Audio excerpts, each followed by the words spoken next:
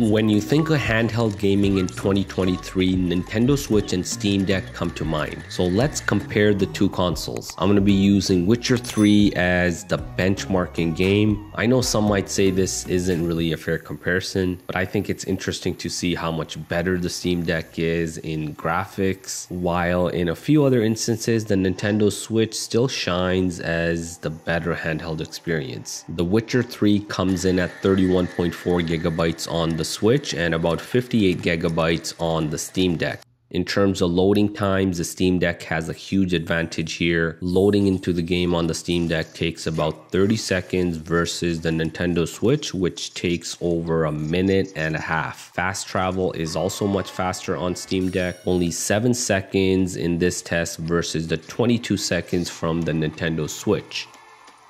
Now let's talk about battery life, an area where the Nintendo Switch is still much better. A test I did back in 2019 shows Witcher 3 getting about 3 hours on the Switch Lite and 3 hours and 45 minutes on the standard Switch. That's of course at maximum brightness and maximum sound. You can turn down the brightness and get even more battery life. On the Switch OLED, you're gonna get about 4 hours at max brightness and sound. The Steam Deck's battery life is a lot worse. With the brightness maxed out and the GPU working to its limits, you'll be lucky to get an hour and a half of playtime. Now to make it fair, I did turn down the settings on the Steam Deck to the lowest. I lowered the resolution to 720p and I even locked the frame rate to 30 FPS. I also did a bit of tweaking on the Steam Deck side. Even with these lower settings, the load on the GPU is still over 80%. You'll, you'll gain maybe another 15 minutes of battery life, but it's it's not really much of a difference. Of course, with these lower settings, the Steam Deck version still looks a lot better than the Nintendo Switch Witcher 3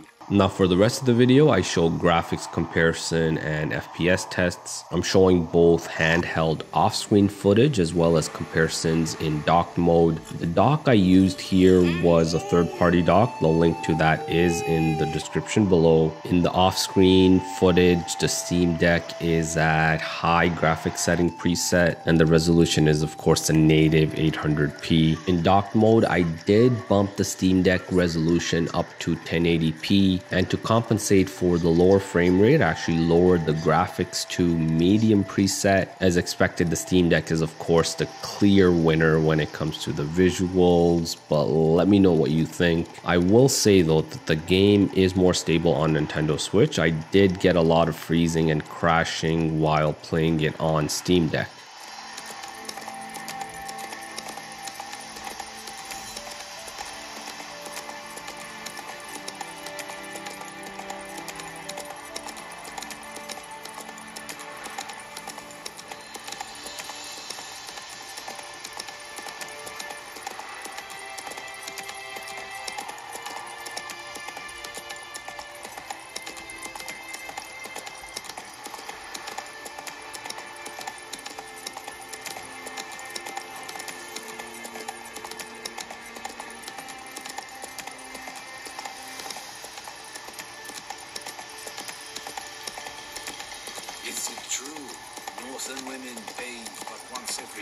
I saw you for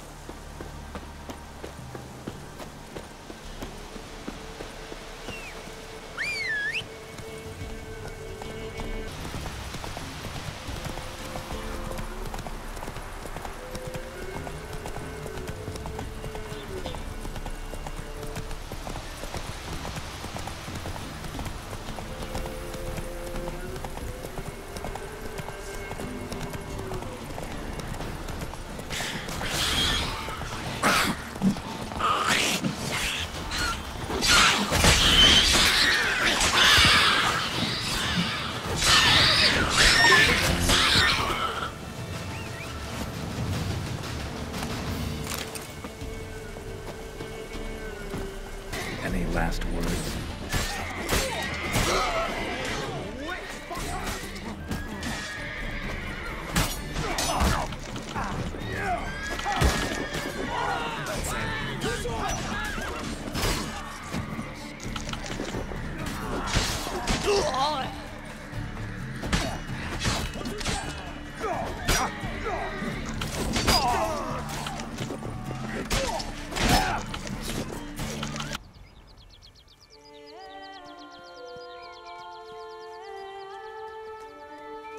Toussaint, the land of love and wine. Exactly how I remembered it.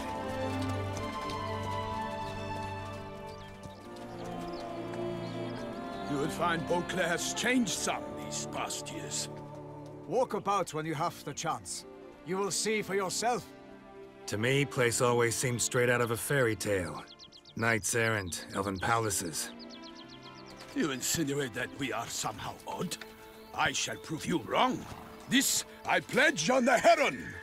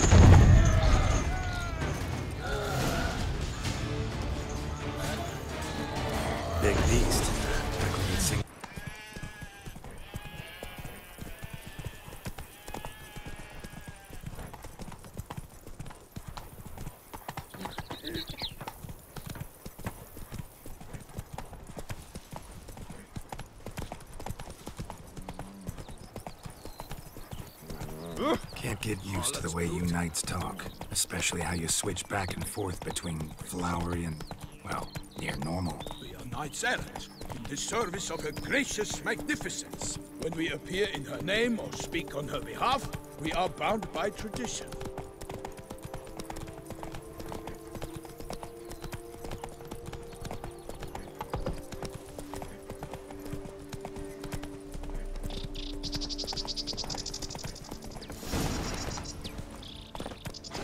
One here. They must have removed the body already.